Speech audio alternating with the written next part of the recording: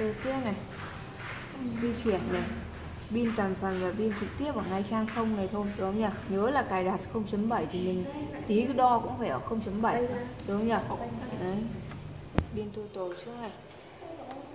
Đơn vị này, đúng không nhỉ? Nhớ cho cô là phải để ý rất kỹ nhá, bởi vì nhiều khi cái đơn vị micromol này các bạn hay bị nhầm với cả minimon, đúng không nhỉ?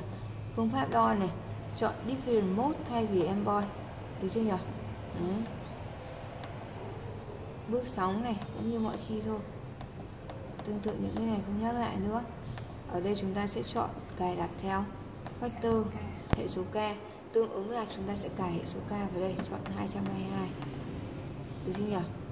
Đấy, giới hạn tuyến tính này. Giới hạn tuyến tính này thì hình như không phải là 257 đâu mà là uh, hai um, cái này thôi tí lát cô xem lại ở đây có thể là hai hai bảy bảy tám sao?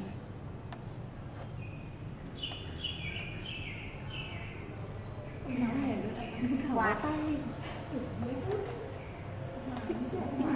Các bạn cứ thảo vào tay mình nó quá ơi, mát đúng không? đúng nhỉ? Giá trị bình thường này. Nóng. Ờ, giá trị bình thường nhỏ nhất chọn là không này. Giá trị lớn nhất là 17 đúng không Đây, cái 17 Đấy. Cái này sẽ không đâu. cái đấy là cái gì cái đấy là chạy. Chuyển lại, tính toán lại số tay. Đúng nhỉ cái 0.7 này exit hết ra này. Chọn không này. 0.7 này. Được nhỉ Bỏ cái ổ đi. Bước đầu tiên này, nhớ là bây giờ cũng hút nước cấp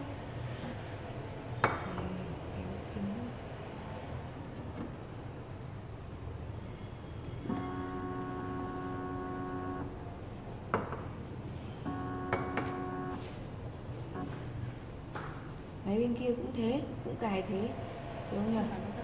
Ừ, cho em thì hôm nay đo thử nó lên đây xem Đúng nhỉ? Thế các bạn thấy rằng khi chúng ta đã cài factor thì nó sẽ không xuất hiện cái ống mẫu ở đây nữa Đúng nhỉ? Mà nó chỉ còn ống trắng và ống thử thôi Chọn New Blank này Thế New Blank một cái nó sẽ hiện ra cái lệnh thứ nhất này Các bạn nhớ là bao giờ lệnh nó cũng hiện ở cái dòng đen đen này Đúng nhỉ?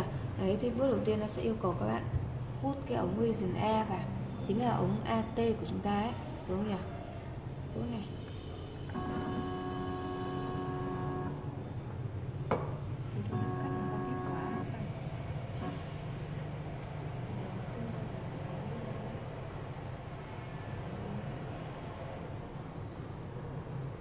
Đúng nhỉ, nó sẽ ra cho các bạn một độ quang của ống. Vision này, Đúng nhỉ, tiếp tục này. Đèn nó tiếp tục nó hóa xanh tiếp luôn. Đúng nhỉ, tương ứng với lệnh là Insert Book Vision Tức là chúng ta sẽ hút luôn cái ống trắng. Booking Vision đấy vào Đúng nhỉ, đấy mà không cần ấn gì nữa. Đèn vào xanh luôn.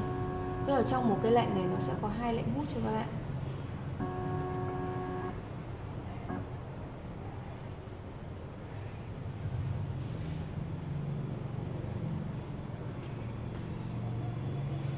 Đúng nhỉ? Đấy tương tự này. Bạn lấy cho nó sẽ tín hiệu luôn. Thế tiếp tục chúng ta sẽ đo ống thử này.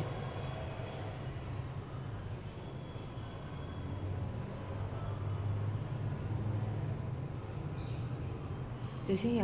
Thế đáng nhẽ là bình thường nó sẽ lưu xong thì đèn nó sẽ báo xanh luôn. Thế tuy nhiên ở máy này thì chúng ta sẽ phải nhập cái mã code vào đây. Ví dụ cô là người thứ nhất đo này, enter một cái là nó sẽ ấy. Thế cái đèn nó báo xanh này tương ứng với lệnh đầu tiên là insert sample blank, tức là ống trắng thử. Đúng nhỉ? Blank là trắng sample là thử. Là ống trắng thử chúng ta hút tiếp tục này. Lần lượt theo cái quy trình thôi kia thì không phải nhập mã code thì như tuổi này đã học cái này rồi đúng không? Dạ. Ừ. buổi đầu tiên. Là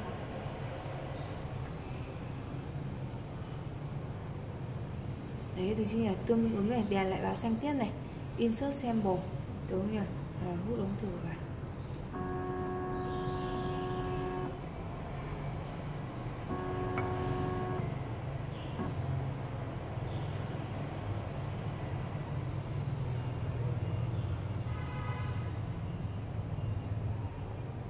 đúng không nhỉ?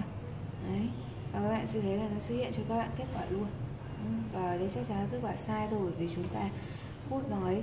Thế thì tiếp tục này, thì các bạn, tiếp tục các bạn ấn enter này, tất cả lệnh nó ở đây. Đúng nhỉ? Thế bạn tiếp, bạn thứ nhất đo xong như thế thì bạn tiếp theo vào đo này. Enter một cái này rồi xong lại nhập mã code người thứ hai vào này. Enter phát nữa này, và tiếp tục hút này. Sample blank này, xong sau đó lại ấn sample vào.